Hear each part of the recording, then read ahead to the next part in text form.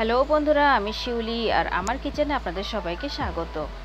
আজকে আমি আপনাদেরকে পুর ভরা বেগুনের তরকারি বানিয়ে দেখাবো। এত টেস্টি যে আপনি ভাবতেও পারবেন না। আর দেখতে তো দেখতেই পাচ্ছেন টেক্সচার কতটা বাড়িয়া দেখতে লাগছে। আর এটা বানাতে একদম ঝামেলা নেই, একদম ঝটপট হয়ে যাবে। চলুন তাহলে রেসিপি দেখে নিই। দেখুন বন্ধুরা, আমি পাঁচটা বেগুন নিয়েছি। ছোট সাইজের দেশি বেগুন এর বোটাটা আমি এরকম করে কেটেছি আর পাশের যে ইয়েগুলো থাকে, আঁকড়াগুলো থাকে, সেগুলো কেটে ফেলে দিয়েছি। আর প্রত্যেকটা বেগুনকে এরকম করে দুটো করে কাট লাগিয়েছি। বেগুনগুলোকে আমরা বোটা থেকে আলাদা করব না। এরকমই জোড়া থাকবে আর এরকম করে আমরা কাট লাগিয়ে দেব। আর কেটে কুটে আমি ধুয়ে নিয়েছি। এবার দেখুন, এখানে এক কাপ মতো পেঁয়াজ কুচি নিয়েছি। একেবারে ছোট ছোট করে কেটেছি, স্লাইস করে কাটবেন না। আর নিয়েছি এক টেবিল চামচ মতো রসুন কোটা। চাইলে পেস্টও নিতে পারেন। আর এর সঙ্গে আমি এখানে নিয়েছি পনে এক কাপের মতো ভাজা বাদাম বা বাদামের গুঁড়ো। এটা খুবই জরুরি। আর এখানে পনে এক কাপ আছে, চাইলে আপনি এক কাপ নিতে পারেন। স্বাদ মতো লাল লঙ্কা গুঁড়ো নিয়েছি, স্বাদ মতো লবণ নিয়েছি। আর আমি এখানে নিচ্ছি দু টেবিল চামচ কান্দা লসুন মশালা। এখানে খুব ঘাবড়ে যাবেন না, এটা অ্যাকচুয়ালি মহারাষ্ট্রিয়ান মশালা এটা। এটা বাংলায় পাওয়া যাবে না। আপনি এখানে কি করবেন? এক স্পুন গরম মশলা নিয়ে নেবেন। আর ঘরে কি করে এই মশলাটা বানানো যায়, আমি এটা পরে আপনাকে একবার দেখিয়ে দেব। এবার দেখুন, একটা আমি বাউল নিয়েছি, মশলা তৈরি করব মানে স্টাফিং তৈরি করব। তো যা কিছু আমি মশলার মধ্যে নিয়েছি সব কিছু এই বাউলের মধ্যে দিয়ে দেব। পেঁয়াজ দিয়ে দিয়েছি, রসুন দিয়ে দিচ্ছি, স্বাদ মতো লবণ দিয়ে দেব। লবণ একটু কম হলেও চলবে, পরে আমরা টেস্ট করে অ্যাড করতে পারব। আর স্বাদ মতো লাল লঙ্কা গুঁড়ো সেটাও দিয়ে দিচ্ছি। আর কাঁদা লসুন মশলা বা এখানে গরম মশলা, এটা আমি এখানে দিয়ে দিচ্ছি। আর একটুখানি হলুদ গুঁড়ো দেব, একেবারে ওয়ান ফোর স্পুন আর যে ভেজে রাখা বাদামের গুঁড়োটা রেখেছিলাম, এটাও দিয়ে দেব। এবার সব কিছু হাত দিয়ে ভালো করে মিশিয়ে নেব। হাতটা আমি আগে থেকেই পরিষ্কার করে রেখেছি। তো হাত দিয়ে ভালো করে মিশিয়ে নিচ্ছি, কিন্তু এভাবে কিন্তু বাইন্ডিং হবে না। পুর ভরতে গেলে যে বাইন্ডিংটা আমাদের দরকার, সেরকম কিন্তু হয়নি। তো এর জন্য আমি কি করব? একটু একটু করে জল ব্যবহার করব। চাইলে আপনি তেলও ব্যবহার করতে পারেন, কিন্তু আমি অত বেশি তেল ব্যবহার করব না, তাই আমি এখানে জল ব্যবহার করছি। একটু একটু করে জল দিয়ে যখন বাইন্ডিং হবে ঠিকভাবে, তখন আমরা এটা ছেড়ে দেব। দেখুন, এটা ঠিক হয়ে গেছে। এবার বেগুনগুলো নিয়ে নিচ্ছি আমি, আর বেগুনের মধ্যে স্টাফিংটা ভরে নেব। এবার বেগুনের মধ্যে কতটা পুর ভরবেন সেটা অ্যাকচুয়ালি আপনার পছন্দের ওপরেই ডিপেন্ড করে। তো আমি একটু বেশি করেই ভরবো।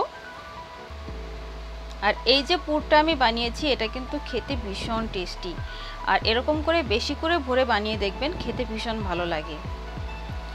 একেবারে নিচ পর্যন্ত মানে বোটা পর্যন্ত যায়, সেইভাবে আমি পুরটা ভরছি। আপনি দেখতে পাচ্ছেন কীরকম করে ভরছি, একেবারে চেপে চেপে এরকম করে আমি ভরে নেব।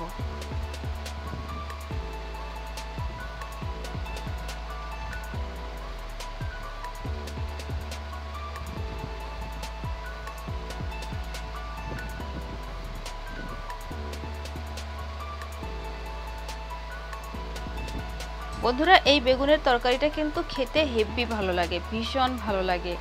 আপনি নর্মালি যেরকম বেগুনের তরকারি খেয়ে থাকেন, তার থেকে একদম অন্যরকম স্বাদের, আর দেখতেই পেলেন কি খুব বেশি ঝামেলা একদমই নেই, একেবারে আমি কেটে কেটে মশলা নিয়েছি, আর খুবই কম মশলা নিয়েছি, দেখতেই পেরেছেন কি খুবই কম মশলা নিয়েছি। আর এই দেখুন বন্ধুরা, এই প্রথম বেগুনটা আমাদের কিন্তু তৈরি হয়ে গেছে, একেবারে পুর ভরে আমি রেডি করে দিয়েছি। এবার এটাকে সাইডে রাখব আর বাকি বেগুনগুলোকে আমি এরকম করেই পুর ভরে নেব। চলুন তাহলে বাকি সবগুলো ভরে নেওয়া যাক।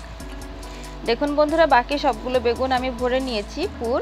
আর যে স্টাফিংটা বেঁচে আছে, এটা আমরা মশলা ব্যবহার করব মানে মশলা হিসেবে গ্রেভিতে ব্যবহার করব। এগুলোকে আমি সাইডে রেখে দিচ্ছি আর কড়াইয়ে এখন তেল দিয়ে দিচ্ছি। দু চামচ তেল দিয়ে তেলটাকে ভালো করে গরম হতে দেব। তারপরে আমরা এর মধ্যে হাফ টি স্পুন জিরে দিয়ে দেবো। জিরের সাথে সাথে হাফ টি স্পুন সর্ষেও দিতে পারেন, সেটাতেও খুব ভালো লাগে খেতে। জিরেটাকে খুব ভালো করে ভেজে নিতে হবে। দেখুন, কালার চেঞ্জ হয়ে গেছে। এবার এই যে যে বেঁচে থাকা মশলাটা বা স্টাফিংটা, এটা এখানে তেলের মধ্যে দিয়ে দেব।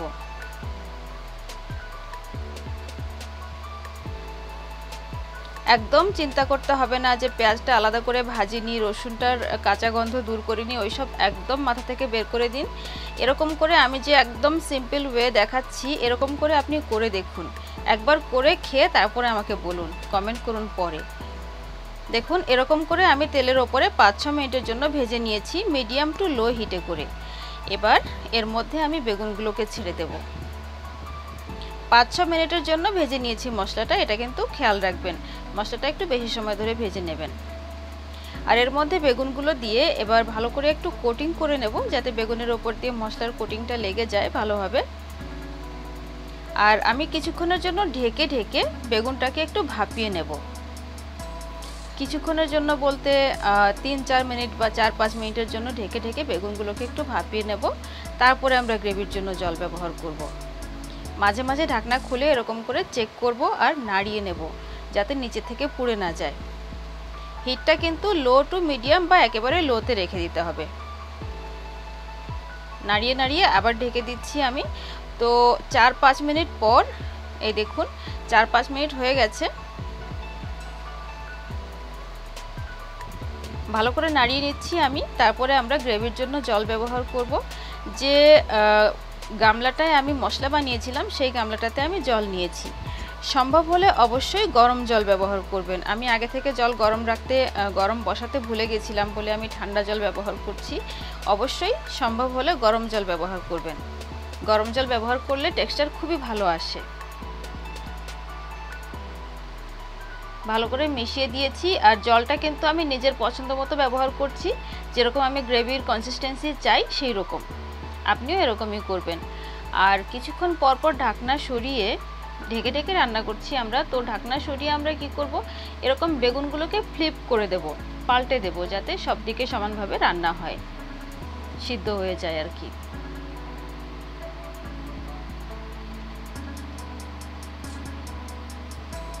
এরকম করে বেগুনগুলোকে পাল্টে পাল্টে দিতে থাকব। আর যতক্ষণ পর্যন্ত বেগুন ভালোভাবে সিদ্ধ হয়ে না যাচ্ছে, ততক্ষণ পর্যন্ত অপেক্ষা করব। ঢাকনা লাগিয়েই রান্না করব। দেখুন বন্ধুরা, হয়ে গেছে মোটামুটি পনেরো ষোলো মিনিট হয়ে গেছে। আর এখন বেগুনগুলো খুব ভালোভাবে সিদ্ধ হয়ে গেছে। একেবারে বোটার কাজ পর্যন্ত, বোটা পর্যন্ত সিদ্ধ হয়ে গেছে। একবার চেক করে নিচ্ছি আপনার সামনে। এই দেখুন, খুব ভালোভাবে সিদ্ধ হয়ে গেছে। আর এবার আপনার কাছে ফ্রেশ ধনেপাতা থাকলে দিয়ে দিন কুচি করে। আমার কাছে নেই, আমি স্কিপ করছি। আর এই রেসিপিতে ধনেপাতাটা খুব একটা জরুরি নয়। না দিলেও হেভি ভালো লাগে। তো আমাদের রান্না হয়ে গেছে। এবার হিট বন্ধ করে কিছুক্ষণের জন্য ঢাকনার দিয়ে রেখে দেব। চার পাঁচ মিনিটের জন্য তারপরে আমরা সার্ভ করব। দেখুন বন্ধুরা, সার্ভ করার পরে দেখেই বলুন আপনি। আমার আর কিছু বলতে হবে না, টেক্সচার দেখে সম্পূর্ণ বোঝা যাচ্ছে। আর খেতে অসাধারণ হয়েছে, ভীষণ ভালো হয়েছে খেতে। আর এই রেসিপিতে বেগুন বানালে সেটা সবসময় খেতে ভালো হয়।